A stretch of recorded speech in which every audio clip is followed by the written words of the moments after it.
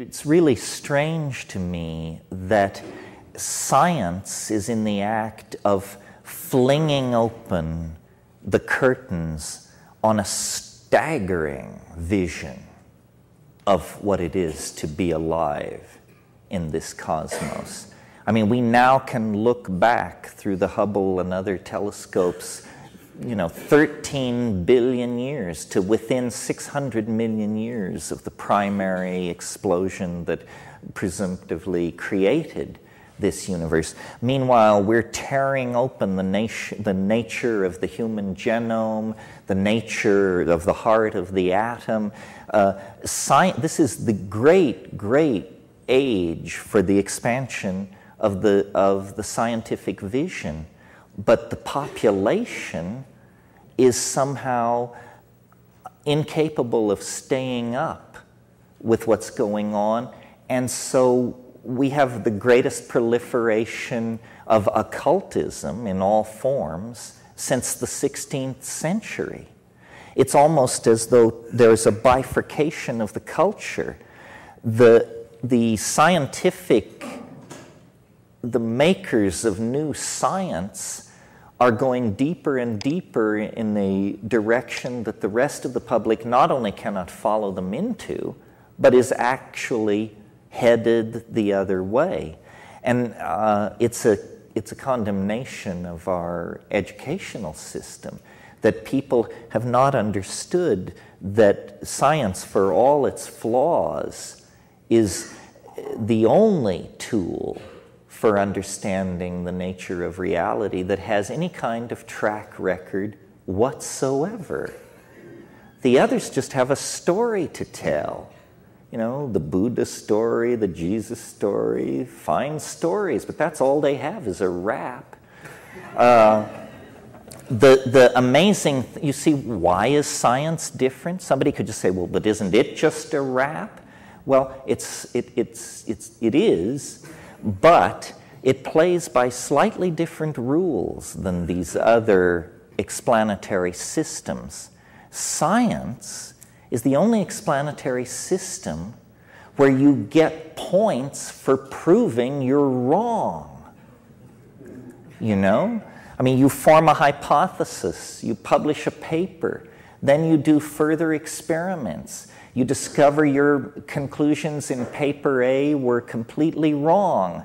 You retract paper A and issue paper B, and your fellow scientists say, this guy does very good work. These are careful thinkers. You can bank on these people, they're not flaky. What religion operates like that? Uh, you know, can you imagine coming out of the ashram and saying, having the guru say to his students, Well, we managed to reduce that hypothesis to rubble in morning meditation, didn't we?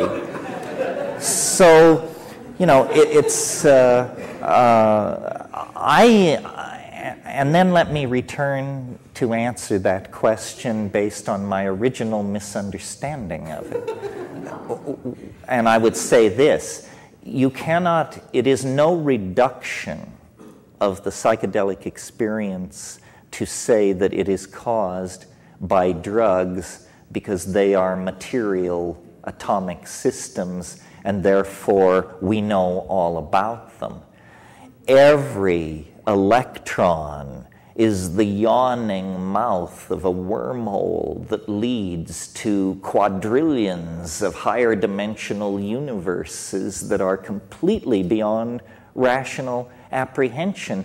Matter is not lacking in magic, matter is magic. I mean, so when you hear these people like David Dennett and all these talk show materialists running around, these people haven't gotten the news that's coming out of quantum physics. I mean, you see, there's a, there's a, a problem, or let me describe to you the state of play here. The way science works is, is science uh, respects fidelity of theory to experimental results. What really thrills a scientist is when you have a theory that makes a prediction down to five or six decimal points, and then you perform an experiment and it's spot on down to five or six decimal points. And then everybody involved in what's going on has extremely high confidence that they're on the right track. Well, now only one science is ever that good physics, macrophysics. Uh, by uh, chemistry, it's good, but it's not that good. Uh, ecology, biology, demography, these are pretty loose. They play with numbers, but it's to high, it's a fig leaf. And by the time you get to sociology or something like that, I mean, these clowns have just snuck under the tent and should actually be shown the door uh, and, and put back outside with the card readers. So, so for several hundred years, uh, uh, you know, to, since let's say Galileo and serious physics, this is how it, science has been. It's been a pyramid of envy directed toward the paradigmatic science, which was physics, and which could produce this incredible uh, congruence of theory and, uh, and experimental data. Well, so then physics, of course, charges forward deeper into matter, asking deeper questions. Well, once you pass below the level of the electron, it's, it's like suddenly, it's like smoking DMT or something. Absolute madness breaks out. Where before you had these wonderful theories and they were feeding back this data, now suddenly you have backward flowing time, you have particles which, ton, which appear magically on one side of an energy barrier without apparently crossing through it. Uh, you have non locality, which seems to imply that every particle that exists is somehow magically connected with every other particle. We now have quantum teleportation, we have black holes, we have singularities. And don't be fooled, folks. What is a singularity? It's just a place where you agree that the rules are canceled because you don't know what the hell else to do. and it, it's fine, you know. It used to be in physics that they had one singularity. It was called the Big Bang. And so you say, well, one singularity, essentially what science is saying is give us one free miracle, and then we can, we can run it from there. But uh, the, the theory of special relativity then introduced the concept of black holes. And of course, uh, black holes are enormous gravitational masses, so massive that neither light nor information can leave them. And what do black holes have at the center of them? Well, a singularity. well, how many black holes are there in the universe? 10 high 14. That's a lot of singularities if you're trying to produce a theory without singularities.